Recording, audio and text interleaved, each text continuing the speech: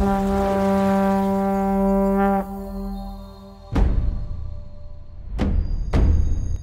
aí pessoal, aqui é Vinícius e você está no 3 Dungeon Masters. No vídeo de hoje falamos sobre um RPG diferente, independente e que é, ele saiu em financiamento coletivo no ano passado e nós tivemos a oportunidade de pegar, no caso não o livro físico, mas o PDF e jogar uma partida dele também.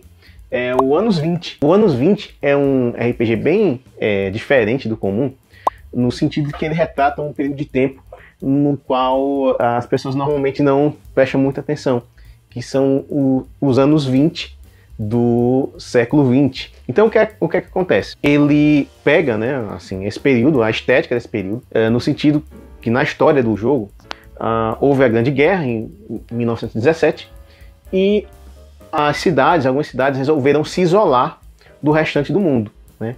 Criaram domos sobre elas e ficaram isoladas do restante do mundo. Elas é, evoluíram na questão de ciência, é, sociedade, enfim, vários aspectos de, é, apartada do restante do, do, do, mundo. Isso passaram 20, 30 anos, 40 anos disso, e aquela sociedade nunca saiu do, da estética e cultura daquele período de, dos anos 20, do século 20. Mas só que é, essas cidades viviam tipo uma utopia, né? uma coisa apartada, diferente, um grande sonho só que esse sonho começou a descascar, né? A fazer água. Então os personagens começam a, a ver, os personagens dos jogadores começam a ver que essa realidade não é tão bonita ou tão fantástica, tão auspiciosa quanto era para ser. E aí é que os jogadores entram, né? Tentando resolver os problemas, investigando e tudo mais. Esse é um RPG mais de interpretação e investigação do que um RPG mais de ação. Né? É, tanto é que os combates no anos, no anos 20 são muito punitivos né, é, para os personagens dos jogadores. Então, nem, e nem todos os jogadores, não, nem todos os personagens são capazes de ser eficientes no combate, nem utilizar é, todos os tipos de armas disponíveis. Apenas algumas profissões são autorizadas a utilizar, por exemplo, armas de fogo. E o, a utilização de armas de fogo acaba implicando na sanidade, na perca de sanidade dos personagens. A próprio combate implica nisso, né? A perca de sanidade. Falando em sanidade, o jogo é, como eu falei, é bem simples. Ele utiliza apenas dois atributos, né? Que é a sanidade e, o e a vitalidade. Como eu falei, um combate muito punitivo porque de cara você ao final do combate já perde um de sanidade. Você tem cinco, né? O personagem tem cinco. E dependendo de, do, do que como transcorre esse combate, você pode perder até mais sanidade e perder vitalidade. Então é muito punitivo. Combates são sempre as últimas alternativas para é, esse jogo.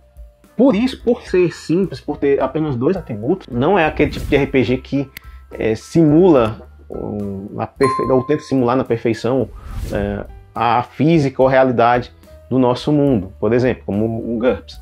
Mas ele está mais na área de interpretação, né, no roleplay, e na parte de investigação. Até a questão do sistema de jogo ele é muito simples. Ele utiliza, por exemplo, é, dados de seis faces, né?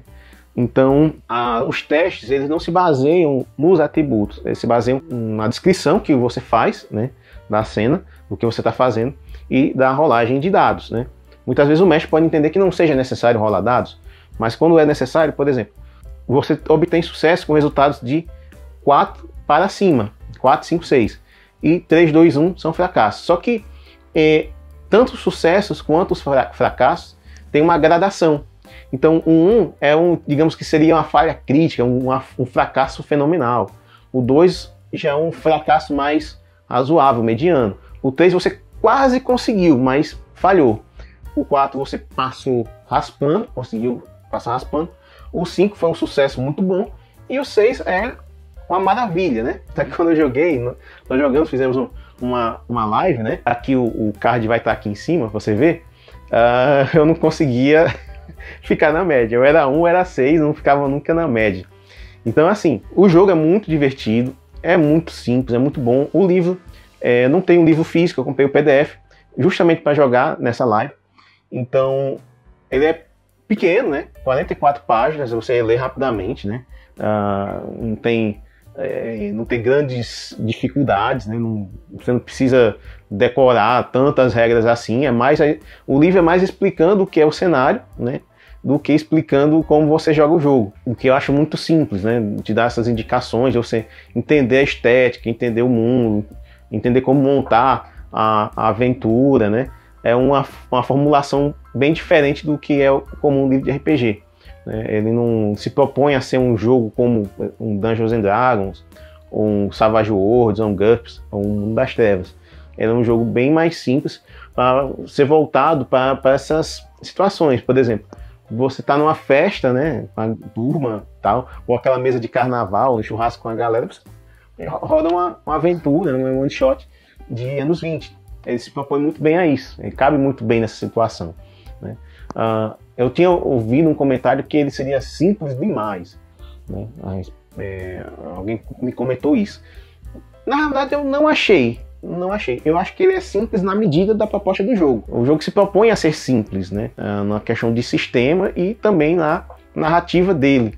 Né? Não, não ser um, algo pesado. Ele traz, ele aflora temas que podem ser pesados, né?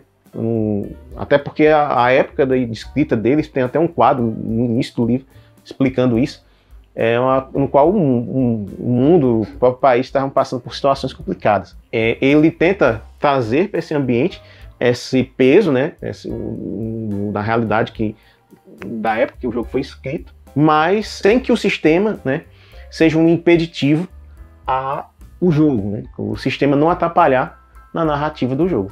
Pelo menos foi esse meu meu entendimento. Eu gostei, eu achei é, um livro muito bom. Infelizmente eu não tenho livro físico para mostrar a vocês, vocês vão ver as imagens do PDF. Vocês viram, verão ainda mais imagens do PDF ao longo do vídeo. Mas assim, é, eu comprei ele, o PDF comprei na Dungeonist. Tem um link na descrição do vídeo para você comprar né, também, se você se interessar. E assim, eu gostei muito, muito, muito mesmo. O livro foi escrito pelo Israel, né? Saiu pelo estúdio Heavy South, que inclusive tem outros jogos muito interessantes lá deles, e logo logo a gente vai trazer para resenhar também. E eu gostei bastante, né, da, da linha de RPGs indies, né, que eu já joguei, que eu tenho, que eu li. Eu acredito que ele é o um, mais simples de se jogar, né, e o que rende jogos mais uh, memoráveis, né. A gente vai falar de mais RPGs indies para frente, mas até agora tem sido o que eu mais gostei, certo? Muito bem, falamos do, do anos 20 aqui, né? Infelizmente não vou estar caracterizado como na live os colegas estavam, mas eu recomendo que você, é, eventualmente, se for jogar, entre no clima, que fica muito bacana, tá bom? Se você gostou desse vídeo, considere dar aquele joinha. Se você não é assinante do canal, assina o canal também, que a gente tem vídeos constantemente, normalmente na, nos sábados e nas quartas-feiras. E nos siga nas redes sociais que estão passando aqui embaixo, que tem muita coisa que a gente posta lá. Beleza? Valeu, pessoal, e até o próximo vídeo.